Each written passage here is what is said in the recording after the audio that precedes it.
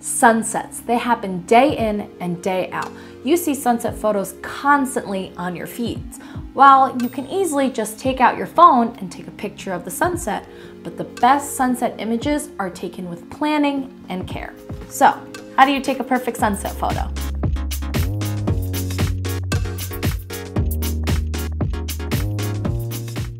Okay, so you want to photograph the sunset, but you're not sure how. Today, we'll talk about location scouting, gear, styles, and settings. When shooting the sunset, choose a west-facing location, like the beach or a mountain.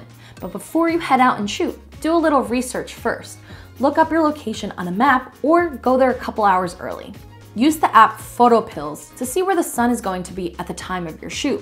When shooting the sunset, you're on the clock, so it's important to have your composition framed up and ready to go when it's game time. So you figured out where to shoot. Now, what gear do we bring? I'll be using the Sony a7R IV with the 16 to 35 for a really wide landscape shot, and I'll bring the 70 to 200 to get a closer view of the sun. When choosing your gear, decide what style you want to go for. Do you want to shoot long exposure make sure you bring a shutter remote, an ND filter, and a tripod. While this isn't totally necessary, it will give you the best results possible. Having a vision for your dream shot is key.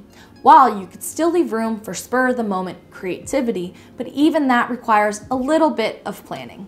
There are many ways to take a great sunset photo and there is no one right exposure setting, so you are free to play around.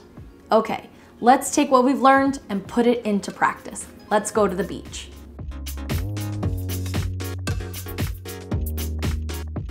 We made it to the beach and I have my camera set and ready to go.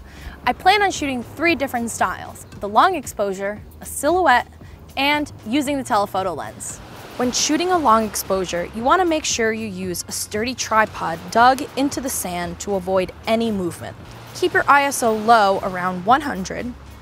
You want everything in focus, so bring your aperture up to somewhere around f16 and slow your shutter speed to a few seconds. You'll need to do a few tests, but I'll start at two seconds. If you have an ND filter, this will allow you to have a slow shutter speed without getting too bright. It's a good idea to use bracketing on your camera to get three different exposure options from the same photo.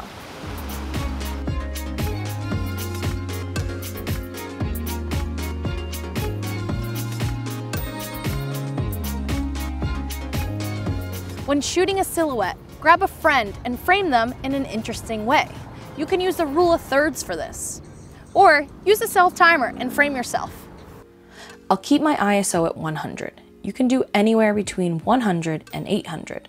Your shutter speed can be on the fast side. Anything above 160 will start to freeze motion in your frame, and aperture between f8 and f16.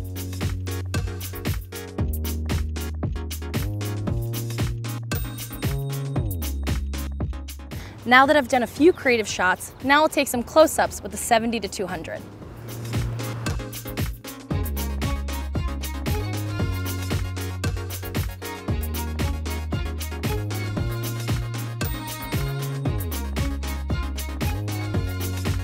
Sunset photography is one of the most fun ways to spend your summer.